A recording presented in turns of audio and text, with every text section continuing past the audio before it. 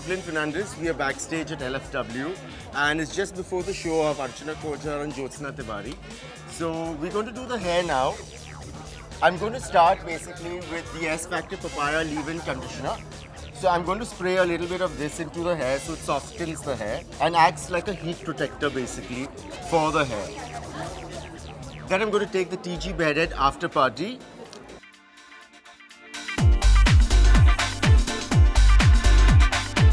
brush the product into the hair and make two sections basically. I use a little bit of the bedhead control freak. This acts as a straightening balm. It's kind of helpful also in blow drying the hair straight, which is what we need.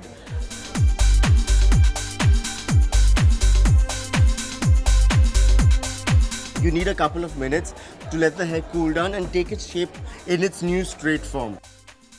Step one in this is to take a square shape of the crown we divide the back of the head again into two sections.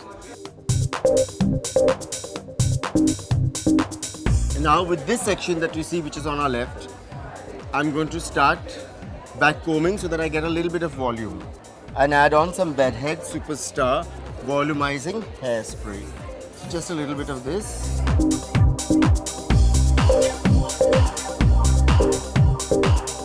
I'm twisting the hair right now into a kind of a French roll basically. I've used a little bit of the bed head, hard head spray. This is basically to give me my smooth finish on the outside and use my comb to get it really neat and clean. Then I'm going to do a ponytail. I again take some TIGI hard head hairspray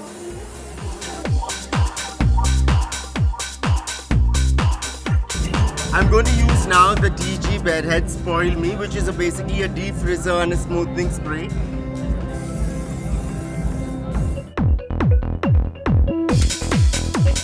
I make another section.